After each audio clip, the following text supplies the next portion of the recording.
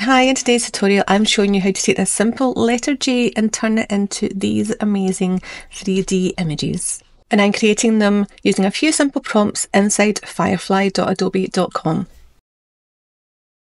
But first of all, I'm quickly going to open Adobe Express, which you can get absolutely free and use within your web browser. In a blank page, I'm going to just select my text box and add in some new text, letter J, and then I am going to centre it in the centre of the file and change the font to a really big, large, chunky font. The chunkier the font, the better these prompts work in Firefly. Once I'm happy with the size and position on the page, I'm quickly going to download that file as a PNG and then head over to firefly.adobe.com where you can start to enter the prompt you want to bring up your first image. I'm just going with donut with pink icing and sprinkles isolated on a white background just to get started off. Then once you see what image it generates, I'm going to pick the one I like most and use this as my style reference.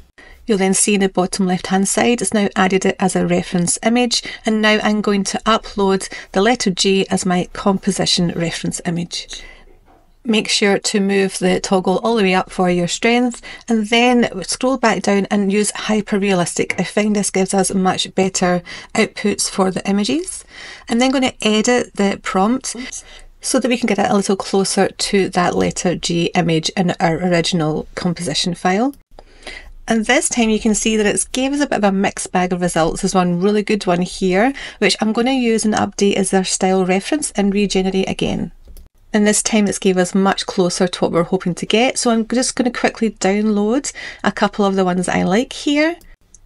And then I'm going to go back into the prompt and this time I'm going to ask it to update to be a pale pink letter with dripping paint and splashes with a blue sky background and puffy clouds and see what it generates this time. And as you can see, it's all right, but I'm just going to click generate again and see what results I get. And this time I'm much happier with them, so just downloading these.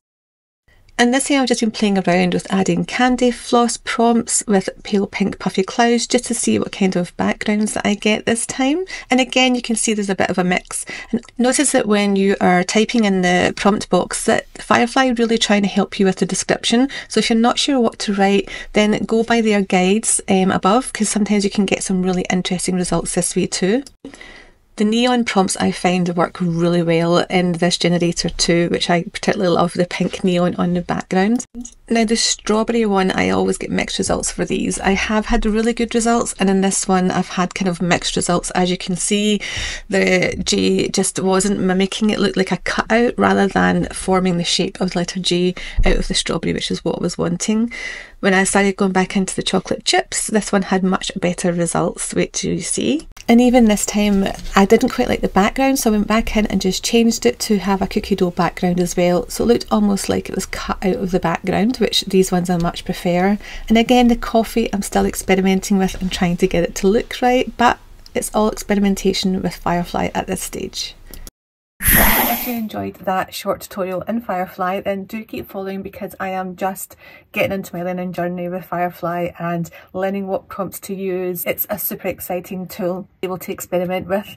I lose hours and hours in there. Also doing much more in Adobe Express now and really diving deep into the platform to learn everything you can do in there to aid and create and make your graphics look outstanding. There's such a lovely synergy with the way it works with the other Adobe programs. I can upload straight from Illustrator and Photoshop and InDesign straight into Adobe Express to help with my clients' workflows, templates I create for them. So keep watching and make sure you subscribe so that you can see all my latest tutorials I'll be bringing your way this year.